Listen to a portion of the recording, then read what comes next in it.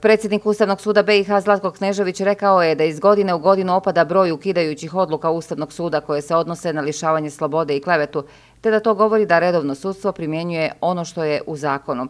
Knežević je istakao da je ovo prvi put za mnogo godina da se vrši pregled prakse ne samo najvišeg suda, nego i prakse okružnih i kantonalnih sudova, čiji predmeti ne dođu do Ustavnog suda. Vrlo je bitno da se pravo na slobodu stalno naglašava da se ti standardi stalno naglašavaju.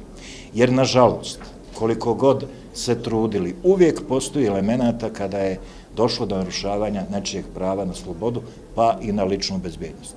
Ovaj drugi dio, pravo na slobodu izražavanja, ja bar vama ne moram da govorim kakvi su skoro pa svakodnevni oblici neprihvatanja standarda slobode izražavanja, a čak nekada i zloupotrebiti standarda. Stoga, smo izuzetno zadovoljni u ime Ustavnog suda, u ime ER centra, što smo danas u prilici da predstavimo vam ovaj izveštaj.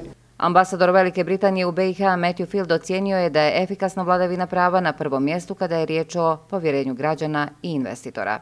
Potreba za harmonizacijom prakse sudova BiH sa odlukama Evropskog suda za ljudske prave i Ustavnog suda BiH je jasno navedena u svim relevantnim stručnim izvještajima.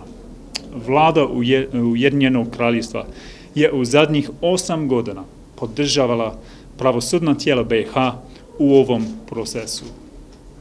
Sudije će putem ovih publikacija imati jednostavan pregled svih relevantnih sudskih odluka. Sudsku praksu stvaraju sudovi tumačenjem pravnih normi i primjenom na konkretne slučajeve, a neusklađena sudska praksa ozbiljno ugrožava pravnu sigurnost građana.